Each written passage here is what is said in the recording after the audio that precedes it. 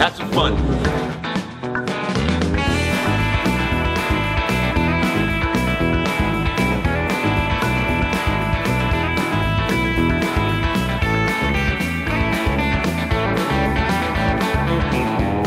All right, now I want to thank Blue Bonnet, Line Tech, D-Tech,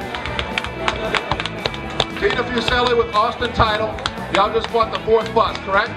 Look at the fourth bus. Bus will come here once a quarter. Gloria Liriano, you're bringing a big pink bus back to Bastrop.